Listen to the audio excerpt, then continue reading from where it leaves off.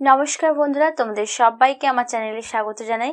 আজকে আমি তোমাদের মডেল অ্যাক্টিভিটি ট্যাক্স দু হাজার একুশের নবম শ্রেণির লাইফ সায়েন্সের পার্ট থ্রির সমস্ত প্রশ্ন উত্তরগুলি আলোচনা করব। তো বন্ধুরা, ভিডিওটি শুরু করার আগে একটি ছোট্ট রিকোয়েস্ট যদি তোমরা প্রথমবার আমার চ্যানেলে থাকো, তো অবশ্যই আমার চ্যানেলটিকে সাবস্ক্রাইব করবে।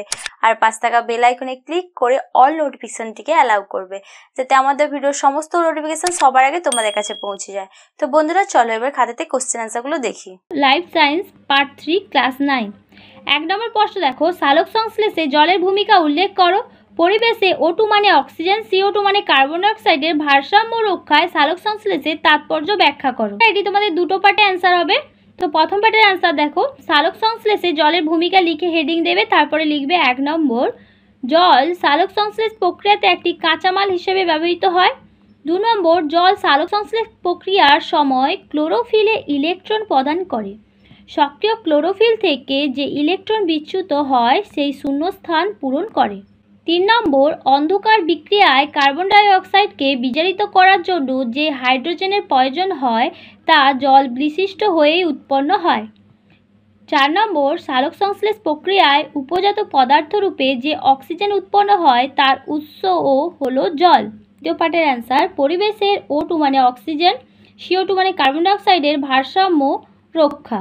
হেডিং দেবে, তারপর লিখবে, বায়ুতে ও টু মানে অক্সিজেনের পরিমাণ টোয়েন্টি পয়েন্ট সিক্সটি পার্সেন্ট এবং সিও টু মানে কার্বন ডাইঅক্সাইডের পরিমাণ zero point zero three percent জীবকুল শোষণের জন্য ও টু গ্রহণ করে এবং সিও টু পরিত্যাগ করে।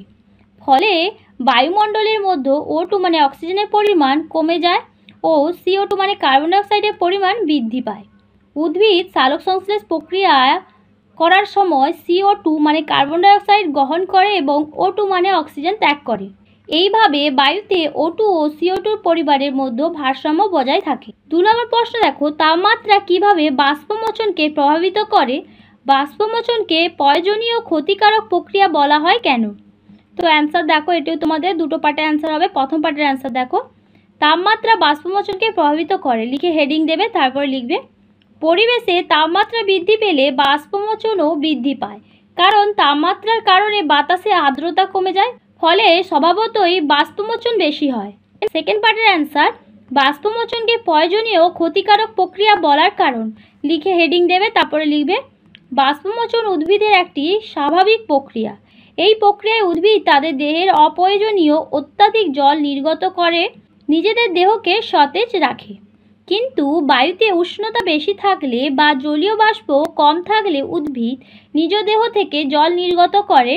কিন্তু উদ্ভিদদের পাতা শুকিয়ে পড়ে এমনকি উদ্ভিদদের মৃত্যু পর্যন্ত হয়। তাই বাষ্পমোচন প্রক্রিয়াকে প্রয়োজনীয় ক্ষতিকারক পদ্ধতি বলা হয়। তিন নম্বর প্রশ্ন দেখো, কোনো মৌলের ম্যাক্রো বা মাইক্রোনিউট্রিয়েন্ট শ্রেণীতে অন্তর্ভুক্তি দুটি কারণ উল্লেখ করো? উদ্ভিদ দেহে অপরিহার্য মৌলের যে কোনো তিনটি সাধারণ কাজ ব্যাখ্যা করো। তো বন্ধুরা, এটাও তোমাদের পার্টের অ্যান্সার হবে। প্রথম পার্টের অ্যান্সার দেখো। কোনো মৌলের ম্যাক্রো বা মাইক্রোনিউট্রিয়েন্ট শ্রেণীতে অন্তর্ভুক্ত হওয়ার দুটি কারণ হলো যথা, প্রথমত, উদ্ভিদ দেহে যে সমস্ত মৌলগুলি অধিক মাত্রায় প্রয়োজন হয়, তাদের ম্যাক্রোনিউট্রিয়েন্ট বলে, এবং যে সমস্ত মৌলগুলি কম মাত্রায় প্রয়োজন হয়, সেগুলিকে ম্যাক্রোনিউট্রিয়েন্ট বলে। দ্বিতীয়ত উদ্ভিদ দেহে ম্যাক্রোনিউট্রিয়েন্টের চাহিদা সর্বদা বেশি। অপরদিকে উদ্ভিদ দেহে মাইক্রোনিউট্রিয়েন্টের চাহিদা zero point one milligram per gram বা তারও কম। সেকেন্ড পার্টের অ্যান্সার লিখবে, উদ্ভিদ দেহে অপরিহার্য মৌলের কাজ লিখে হেডিং দেবে, তারপরে লিখবে, উদ্ভিদ দেহে অপরিহার্য মৌলের অন্যতম কাজগুলি হলো নিম্নরূপ। এক নম্বর, উৎসেচক গঠন। অধিকাংশ উৎসেচক প্রোটিনধর্মী হয়। কার্বন, হাইড্রোজেন, অক্সিজেন, নাইট্রোজেন ও কিছু ক্ষেত্রে সালফার দিয়ে প্রোটিন গঠিত হয়। সুতরাং এই অপরিহার্য মৌলগুলি সংগ্রহ করে ফলে উদ্ভিদ দেহ বিভিন্ন উৎসেচক উৎপন্ন করতে পারে। দু নম্বর পয়েন্টে লিখবে ক্লোরোফিল সংশ্লেষ সবুজ উদ্ভিদ দেহে ক্লোরোফিল হলো একটি গুরুত্বপূর্ণ উপাদান, যা ছাড়া সালোক সংশ্লেষ সম্ভব নয়। এই ক্লোরোফিল সি মানে কার্বন, এইচ মানে হাইড্রোজেন, ও মানে অক্সিজেন, এন মানে নাইট্রোজেন আর এমজি হলো ম্যাগনেশিয়াম দ্বারা গঠিত। তিন নম্বর পয়েন্ট লিখবে জারণ ও বিজারণ প্রক্রিয়া। উদ্ভিদ দেহে বিভিন্ন বিপাকীয় প্রক্রিয়ার মাধ্যমে জারণ ও বিজারণ প্রক্রিয়া সম্পন্ন হয়। যেমন কিছু মৌল এনএডিপি, এনএডি ইত্যাদি হাইড্রোজেনের সাথে যুক্ত হয়ে বা হাইড্রোজেন গ্রহণ করে অন্য যৌগকে জারিত করে। তারা আবার হাইড্রোজেনের সাথে যুক্ত হয়ে অন্য যৌগকে বিজারিত করে। চার নম্বর প্রশ্ন দেখো, সক্রিয় পরিবহনের বৈশিষ্ট্য উল্লেখ করো, ব্যাপন ও অভিশ্রবণের দুটি পার্থক্য লেখো।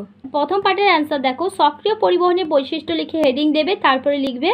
এক নম্বর, শারীরবৃত্তীয় প্রয়োজনে লবণের আয়নগুলি কম ঘনত্বযুক্ত স্থান থেকে অধিক ঘনত্বযুক্ত স্থানে প্রভাবিত হয়। দু নম্বরে লিখবে, পদার্থের কোষ পর্দা অতিক্রম করার জন্য এটিপি প্রদান করে। সেকেন্ড পার্টের অ্যান্সার ব্যাপন ও অভিশ্রবণের পার্থক্য।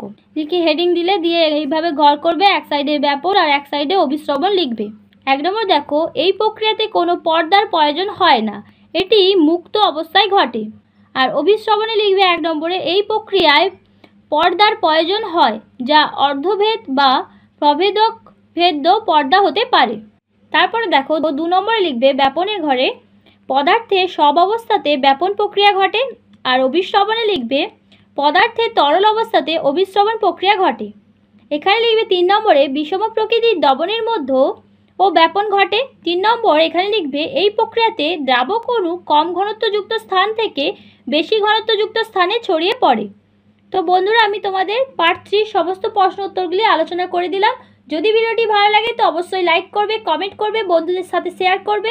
আর যদি প্রথমবার আমার চ্যানেলে থাকো তো অবশ্যই আমার চ্যানেলটিকে সাবস্ক্রাইব করবে। সবাই ভালো থাকবে, সুস্থ থাকবে, ধন্যবাদ।